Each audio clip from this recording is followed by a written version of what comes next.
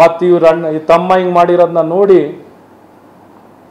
ಅವ್ರನ್ನ ಚೀಮಾರಿ ಹಾಕೋದ್ ಬದಲು ಅಣ್ಣ ಅವ್ರಿಗೆ ಸಭಾಷಗಿರಿ ಕೊಡ್ತಾರೆ ಅಣ್ಣ. ನಿನಗೂ ಅಶ್ವಥ್ ನಾರಾಯಣಗೂ ರಾಮನಗರಕ್ಕೂ ಏನು ಸಂಬಂಧ? ನಾನು ಈ ರಾಜ್ಯದ ಸಚಿವ ಎಲ್ಲಿಗೆ ಬೇಕಾದ್ರೂ ಯಾವ ಗ್ರಾಮಕ್ಕೂ ಎಲ್ಲಿಗೆ ಬೇಕಾದ್ರೂ ಹೋಗಿ ಕೆಲಸ ಮಾಡೋಕ್ಕೆ ಅಧಿಕಾರ ಇರುವಂಥವನು, ಜವಾಬ್ದಾರಿ ಇರೋನು ಎಲ್ಲಿ ಬೇಕಾದ್ರೂ ಬಂದು ಕೆಲಸ ಮಾಡ್ತೀನಿ.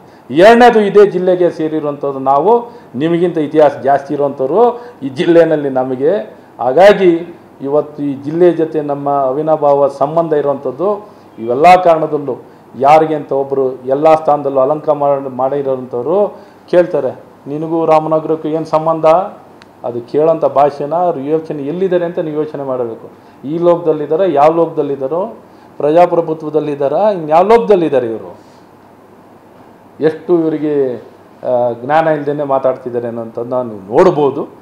ಮತ್ತು ಬೇರೆ ಬೇರೆ ಬೇಡವಾದ ಆಪಾದನೆಗಳನ್ನು ಮಾಡೋಂಥದ್ದು ಬಿಟ್ಕಾಯಿನ್ ಅಂತ ಹೇಳೋಂಥದ್ದು ಇವರೆಲ್ಲ ಬರೀ ಕುತ್ತಿಗೆ ಕುಯ್ದು ಕುತಂತ್ರ ರಾಜಕೀಯ ಮಾಡಿ, ಬರೀ ಬೇಡವಾದ ರಾಜಕೀಯ ಮಾಡಿಕೊಂಡು ಬೆಳ್ಕೊಂಡು ಬಂದಿರೋರು.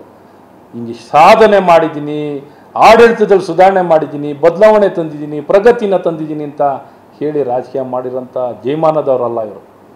ಇವರೇನಿದ್ರು ಬರೀ ತಂತ್ರ, ಕುತಂತ್ರ ಮಾಡಿಕೊಂಡು ಬದುಕಿ ಬಾಳಿ ಬಂದಿರೋರು.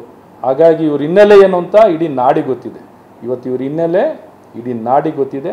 ಹಾಗಾಗಿ ಮತ್ತೆ ಮತ್ತೆ ಹೇಳಬೇಕಾಗಿಲ್ಲ, ಇದನ್ನು ರಾಮನಗರ ಜಿಲ್ಲೆಯ ಜನತೆಗೆ ಅವಮಾನ ಮಾಡಿದ್ರು. ಇವರು ಇಡೀ ರಾಮನಗರ ಜಿಲ್ಲೆಯ ಜನತೆಗೆ ಅವಮಾನ ಮಾಡಿರೋಂಥದ್ದು ಇವರು. ಈ ಜಿಲ್ಲೆಯನ್ನು ಪ್ರತಿನಿಧಿಸಿ ಈ ರೀತಿ ವರ್ತನೆ ಮಾಡಿರೋಂಥದ್ದು ಜಿಲ್ಲೆಗೆ ಅವಮಾನ ಮಾಡಿರೋಂಥದ್ದು ಇವರು. ಇವತ್ತು ಪ್ರತಿನಿಧಿ ಆಗಿ ಜಿಲ್ಲೆಗೆ ಅವಮಾನ ಮಾಡ್ತಿರೋಂಥದ್ದು ಮತ್ತು ಕಾಂಗ್ರೆಸ್ ಪಕ್ಷಕ್ಕೂ ಅವಮಾನ ಮಾಡ್ತಿರೋಂಥವ್ರು. ಕಾಂಗ್ರೆಸ್ ಪಕ್ಷಕ್ಕೂ ಅವಮಾನ ಈ ರೀತಿ ಒಬ್ಬ ವ್ಯಕ್ತಿ ಅಧ್ಯಕ್ಷನಾಗಿ ನಡ್ಕೊಳ್ತಿರೋವಂಥದ್ದು, ಅವ್ರು ಹೇಳಿಕೆ ಕೊಡ್ತಿರೋವಂಥದ್ದು ನಿಜಕ್ಕೂ ಖಂಡನೀಯ ಅವಮಾನ ಅನ್ನೋಂಥದ್ದನ್ನ ಭಾಳ ಸ್ಪಷ್ಟವಾಗಿ ಅಣ್ಣ ತಮ್ಮದಿರಿಗೆ ಇಬ್ಬರಿಗೂ ಹೇಳೋಕ್ಕೆ ಇಷ್ಟಪಡ್ತೀನಿ.